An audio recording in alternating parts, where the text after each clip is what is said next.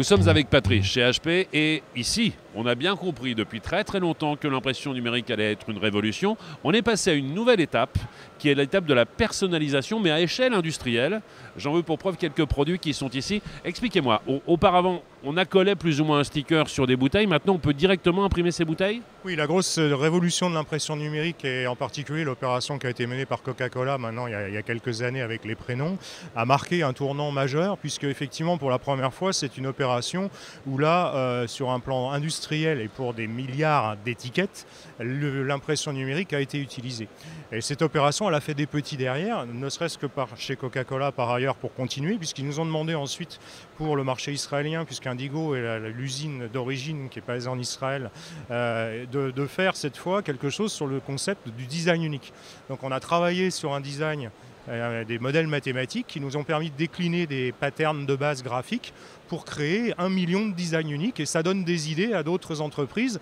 Et là, on a par exemple l'exemple aux États-Unis de Budweiser qui a fait dans le cadre d'un sponsoring de festival de musique des canettes à design unique. Là, c'est 200 000, 200 000 canettes à design unique qui ont été fabriquées comme ça. On a tous envie d'avoir les mêmes produits, mais si possible tous différents. Et il y a quelque chose que vous avez créé aussi. J'adore ces petites cocotte en papier, pourrions-nous pourrions dire. On est pratiquement dans le règne de l'origami. Mais là, encore une fois, c'est une deuxième utilisation d'un produit dans un premier temps destiné à être un emballage et qui va devenir après pourquoi pas un jeu de société. Alors absolument, l'idée en plus de l'origami est très intéressante puisque ce que vous voyez c'est nous un exemple qu'on a pris pour des journées portes ouvertes chez nos clients dans notre centre de Barcelone où là on a personnalisé effectivement euh, petite boîte, les, comment dire, la, cocotte en papier.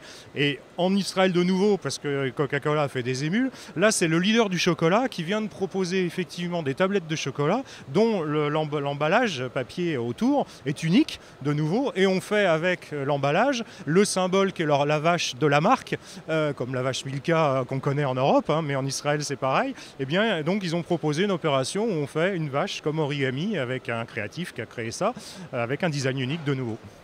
HP, c'est bien sûr un fabricant de machines, un fabricant d'imprimantes. Est-ce qu'aujourd'hui, on peut se permettre d'imprimer sur n'importe quelle matière? On a évoqué le verre tout à l'heure, on peut évoquer le papier, le carton, le plexi, tout cela, ça fait partie aussi des supports sur lesquels vous pouvez travailler? Absolument. Alors ça, c'est effectivement le registre. On a pour ça notre, notre atout, c'est d'avoir plusieurs technologies qui nous permettent d'imprimer sur des supports différents. On a en gros, notamment dans l'emballage, deux grandes familles de produits, ce qu'on appelle les presses Indigo, qui permettent en petit, moyen format d'imprimer sur du papier, sur du carton, du souple, des choses de ce genre. Et puis on a les machines Cytex.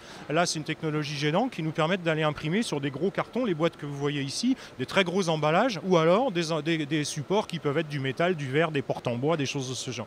Donc aujourd'hui, il n'y a quasiment plus de limites. C'est-à-dire qu'on arrive à une phase où, en gros, euh, c'est l'imagination qui est au pouvoir. Parce que les capacités techniques, à la limite euh, des opérations qu'on vient de décrire, elles existaient déjà il y a 3 ou 4 ans. Il faut simplement que derrière, l'ensemble des marques, des agences et toute la chaîne graphique prennent conscience des capacités quasiment illimitées pour les mettre en œuvre derrière dans des projets. Merci, continuez à nous étonner Patrice. Merci à vous. On sera là, de nouveau en rendez-vous ici l'année prochaine, probablement pour ça. Et puis il y a la Drupa, euh, qui est le rendez-vous de tous les arts graphiques euh, au mois de, de mai-juin de cette année, qui va être un rendez-vous pour tout le monde très important. Merci. Merci.